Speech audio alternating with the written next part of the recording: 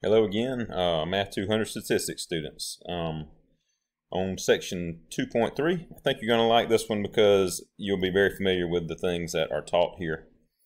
We are talking about measures of central tendency. That, in other words, we have a data set and we're trying to see kind of what the overall data set is like uh, for the most part. So we're looking at like the middle of it all this data, let's look to see what the average or the median or the mode is. Okay, so mean, median, and mode. Mean, the mean of a data set is the average of it. It is the sum of all the data entries divided by the number of entries, just like you're finding the average of your grades. All right, so the population mean, okay, here's two different symbols. All right, the population mean is this weird symbol here. It is the Greek letter mu, M-U, M-U, mu. All right, uh, which kind of fits it because it kind of looks like an M and it kind of looks like a U. So put it together, it makes mu. It's a Greek letter, lowercase Greek letter, and it is this the uh, mean of an entire population. So it's the sum of all the x's divided by big capital N, which is every every uh, the, the entire number of things in whatever the population is. Whereas the sample mean, the symbol is X with a line on top of it. It's called X bar. X bar. And it's the same formula, but it's over little n, lowercase n, which just means the num the total number of things in the sample. So not an entire population. All right. So example one, finding a sample mean. The weights for a sample of adults before starting a weight loss study are listed. What is the mean weight of the adults? It's very simple. Add all these one, two, three, four, five, six, seven weights, add them together, and then divide by 7. And you get that the average weight of these adults is 258.6 pounds. It says round the last calculation to one or more decimal place than the original data. So since the original data is to the ones place, then they went one extra place to the tenths place with this uh, answer. All right, simple, simple, simple.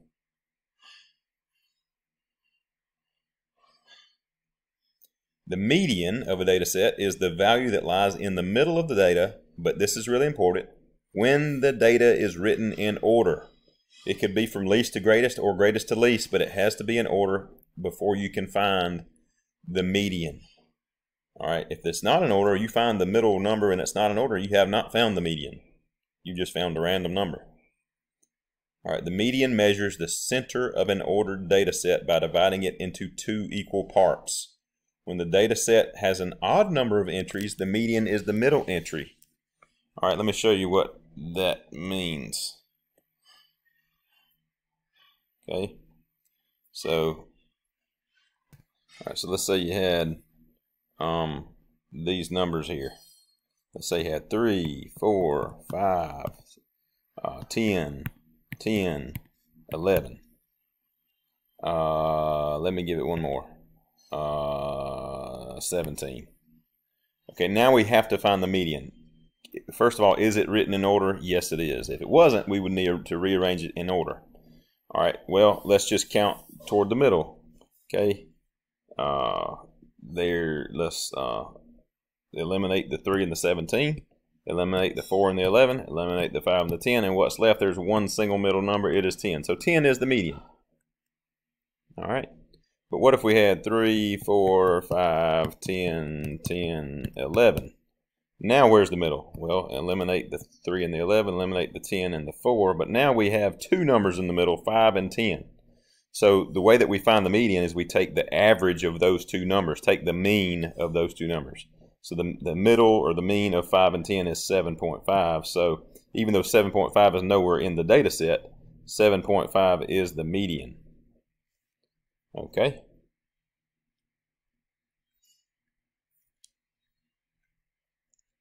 So if we're finding the median of these numbers, it's going to be 268. Well, if it's written in order, is it? Yes, it's in order, so it is 268. All right.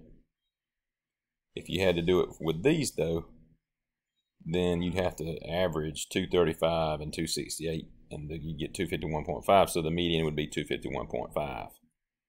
for that example.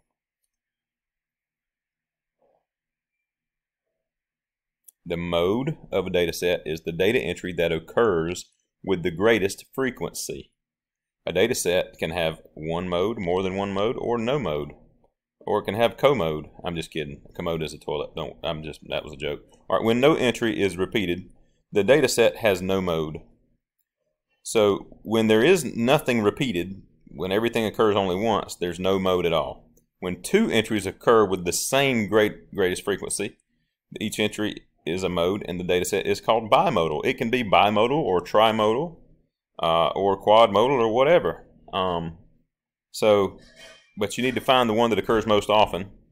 And if there's more than one that occurs most, you know, the same amount, and both of them are most often, then it can be more than one. So let's find the mode of this data set.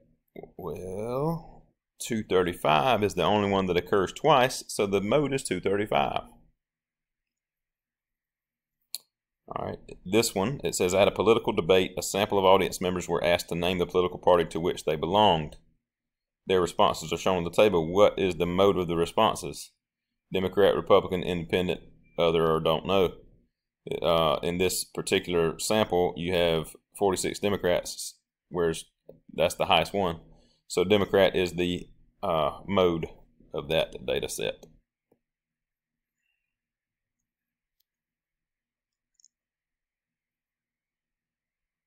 All right.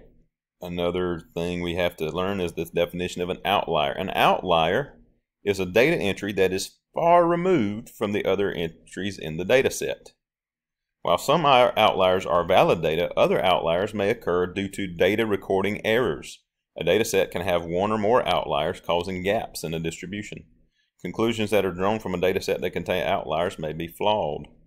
Now we will determine later a more precise mathematical definition for an outlier to, to be able to determine what data should count as outliers. In other words, like how far removed does it need to be to actually be categorized as an outlier? We're going to learn later uh, how to determine that. But you can see in this example here, uh, over here in these numbers, that all of these numbers are in the 20s, but you have this one outlier that is 65, and that's the ages in the class. So you have like one uh, older adult that decided to go back to school, and that person's age is an outlier for the class.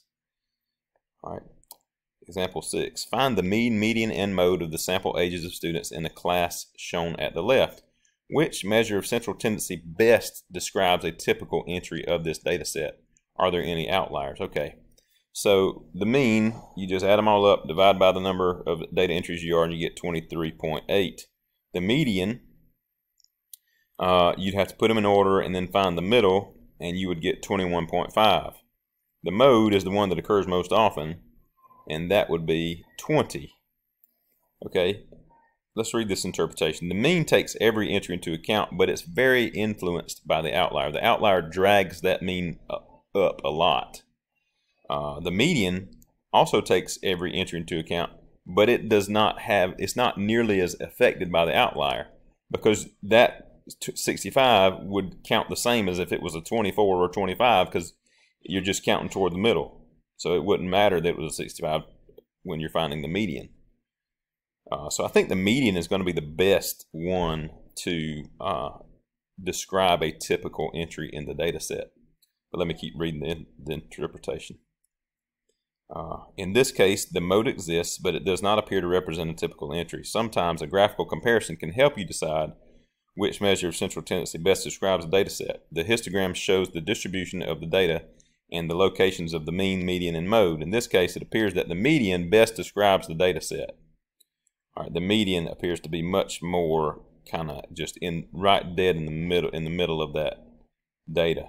So if there are no outliers, then the mean is often the best way to describe a typical data entry.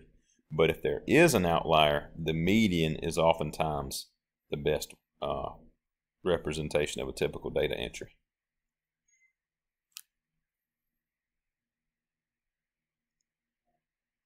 Okay, weighted mean and the mean of grouped data. Sometimes data sets contain entries that have a greater effect on the mean than do other entries. To find the mean of such data, such a data set, you must find the weighted mean.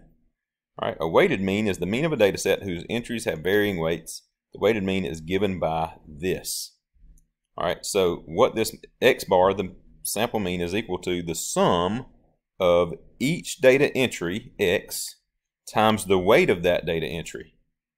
All right, divided by the total weight. So a lot of times this is how your grades are determined because tests often count more. They have greater weight than, let's say, daily grades or practice or whatever. So let's take this example here. You're taking a class in which your grade is determined from five sources. 50% from your test mean, 15% from your midterm, 20% from your final exam, 10% from your homework, I'm sorry, from your computer lab work, and 5% from your homework. And it gives you these scores. What is the weighted mean of your scores?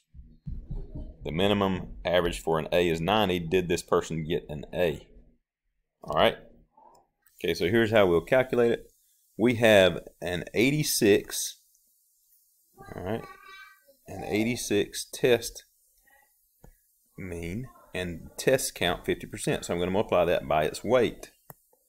And I'm going to add, uh, I have a 96 midterm and midterm counts 15%. So that's times 0.15. That's its weight. All right, plus next one is an 82 and that counts 20%, so that's times 0.2 plus 98 which counts, that's the computer lab work, that counts, what does that count? That counts 10%, so times 0.1 plus 100 homework times the homework counts 5%, so times 0.05, and that is divided by the weight of all, all, all these weights added up. Well, if you add up all these weights, it's going to add up to 100% or add up to 1. So it's just divided by 1. So I don't even have to divide it by 1, but I wanted to put that on, on there. All right, that comes out to be about an 88.6. So didn't quite get an A with that, uh, with that weighted average. All right, that's called a weighted mean.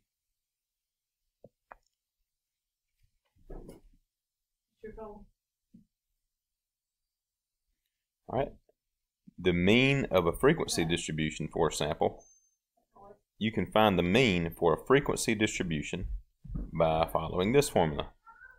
X bar is equal to the sum of the particular uh, score or weight or whatever this is times its frequency divided by the total number of data entries. All right where x and f are the midpoint and the frequency of each class. So x is the midpoint, f is the frequency for that particular class. All right. So let us find the mean of this particular frequency distribution. It's pretty simple. It gives us the midpoint and it gives us the frequency for each class. So you just multiply 12.5 by 6 and you get that. Multiply 24.5 times 10, you get that. And so you just multiply them all, each midpoint times its frequency. And uh, when you do all that, then you just add all those up. And then you divide by the total number of data entries, which is the sum of all these frequencies, which in this case is 50.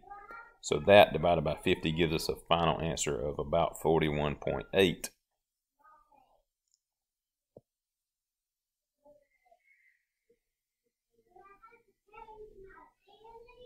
Okay. Now, the shapes of distributions. A graph reveals several characteristics of a frequency distribution. One such characteristic is the shape.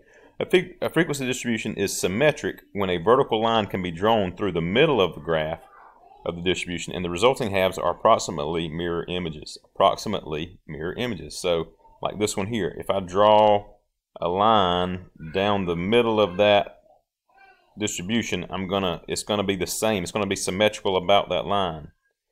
Okay, a frequency distribution is uniform, aka rectangular, when all entries or classes in the distribution have equal or even approximately equal frequencies. A uniform distribution is also symmetric. So this is an example of a uniform or rectangular distribution. If you cut this down the middle, it's also symmetric. A frequency distribution, distribution is skewed when the tail of the graph elongates more to one side than to the other. A distribution is skewed left or negatively skewed when its tail extends to the left. A distribution is skewed right, positively skewed when its tail extends to the right. All right, now this to me used to confuse me out because my intuition kind of made me think differently than the definition of it. See, what I would used to think like is if I saw this distribution, I'd say, well, more of the data is over here on the right side, so that's skewed right. But that's actually the opposite of what the definition says. The tail is the elongated part. All right, so the fact that we have these extra data entries running out to the left over here kind of just run, it kind of extends it out to the left, stretches it to the left, means that it is skewed left. And likewise on this one here, since we have these lower entries kind of stretching out the tail, the right tail here to the right, this is skewed right. Read this. The mean will always fall in the, in the direction in which the distribution is skewed. For instance, when a distribution is skewed left, the mean is going to be to the left of the median. Or if it's skewed right, it'll be to the right of the median. All right, and I think that is the end. But I do want to did want to show you something uh, that you can do in your calculator. I wanted to show you how you can find the mean and the median in your of a data set in your calculator. Right, so if I'm going to put all these ages of this these people in this class into my calculator, I'll show you how to do that. All right, let me quit what I'm doing there and clear all this out. I'm going to go to Stat when I go to the stat menu, I'm going to click edit. That allows me to edit my lists. I'm going to clear L2 that I put in earlier. The way that you do that is you go up to L2 and you hit the clear button, then you hit enter, and that will clear that column. I'm going to do the same thing for L1. I'm going to clear it. So I'm going to click up to L1. I'm going to hit clear, enter, and that will clear the entire column. Now I'm going to enter all these data, data entries. 20, enter, 20, enter. All right, I'm going to pause the recording and go ahead and enter the rest so you won't have to. Okay, I now have all the data entered into L1. I go back to Stat. I go to, I click to the right over to the Calculate menu, and I want to calculate the one variable stats. And that's going to give me a lot of basic things uh, about this data set. The list is going to be L1. I don't have a frequency list on this example. I just, all I did was enter in the data uh, entries into L1. I don't have a, so leave the frequency list blank. I click down, I click calculate, and it tells me all kinds of things. X bar, that is the mean, is 23.75. All right, it tells me all this other stuff, which we'll talk about later. All right, N is the number of, uh, of data entries I entered. The S sub X is actually the it is the uh, the standard deviation uh, if this of the of the sample. The sigma sub x is a standard deviation if this were a population. We haven't talked about that yet. We'll talk about it later. Okay, Q1 median, Q3 max. So the minimum data entry was 20. Q1 and Q3 we'll talk about later. Um, those are the upper and lower quartiles. The maximum data entry is 65, and the median is 21.5. So it tells me the median and the mean, which is what this part of what this uh, section was about. All right, there's also a way to uh, do um, a frequency distribution, the mean of a frequency distribution. I'm going to clear this out and I'm going to show you another example. All right, so look, uh, look at this example. What I would do here to find the mean of this frequency distribution is I would put all these class midpoints into L1. I would put all these frequencies into L2. And then I would hit stat and I would click calculate one variable stats. And this time for the list, I would put L1 and for the frequency list, since I put the frequencies in L2, I would put L2 right there. All right and then I would click calculate and it would give me the uh, the mean and median, all that, the median and everything for that frequency distribution. All right, one more thing I want to show. You can also do that for uh, these these weighted, the weighted like GPA kind of problem. Uh, you can put the scores into L1 and the weights into L2.